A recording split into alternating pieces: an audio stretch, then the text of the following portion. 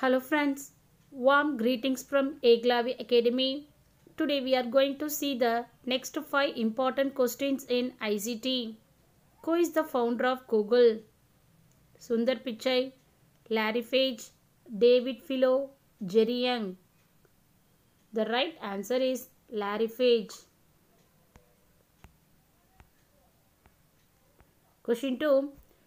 If you are using Google Meet using your G Suite educational account, you can interact with up to the dash participants during a meeting 100, 150, 200, 250. The right answer is 250.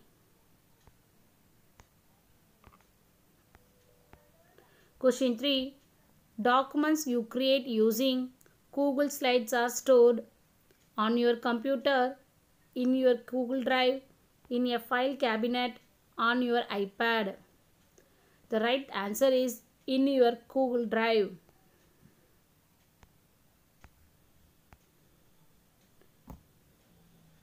Fourth question. Dash consists of columns and rows. Slide, tab, table, graphic. The right answer is table.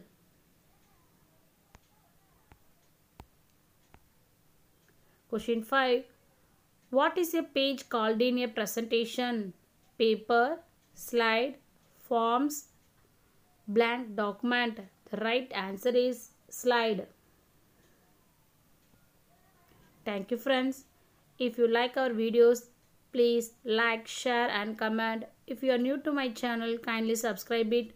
For further details, you can join in the telegram group. The link for the telegram group is provided in the video as well as in the description box. Kindly refer it. Thank you friends.